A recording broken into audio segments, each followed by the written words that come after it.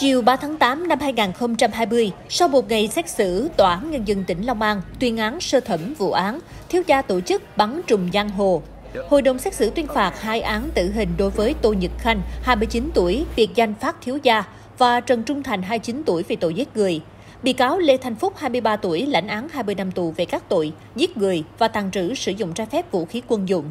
Các bị cáo Phạm Huỳnh Phúc Thiện, 19 tuổi, Tô Phước Lộc, 23 tuổi, lần lượt là 2 năm và 1 năm 6 tháng tù về tội che giấu tội phạm.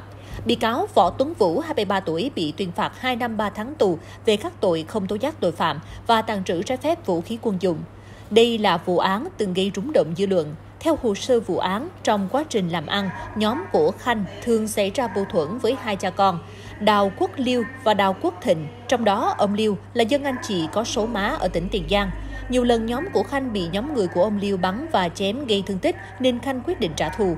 Tô Nhật Khanh đặt mua trên mạng 4 khẩu súng hoa cải tự chế, hai khẩu súng tự chế dạng rulo, một quả lựu đạn tự chế và 33 viên đạn, còng số 8, súng bắn điện, bình xịt hơi cay, gậy ba khúc để sử dụng.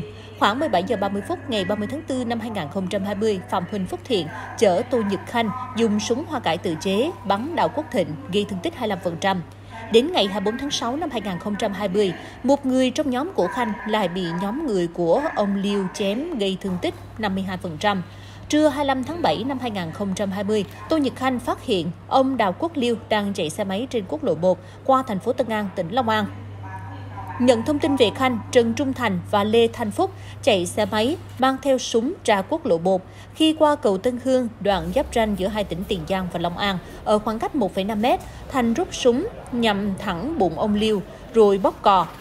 Gây án xong, Phúc và Thành tăng ga chạy thoát về hướng thành phố Hồ Chí Minh. Ông Liêu được đưa đi cấp cứu nhưng tử vong. Sau vụ việc Phạm Huỳnh Phúc Thiện, Võ Tuấn Vũ và Tô Phước Lộc biết việc nhóm của Tô Dực Khanh bắn chết ông Liêu nhưng không tố giác.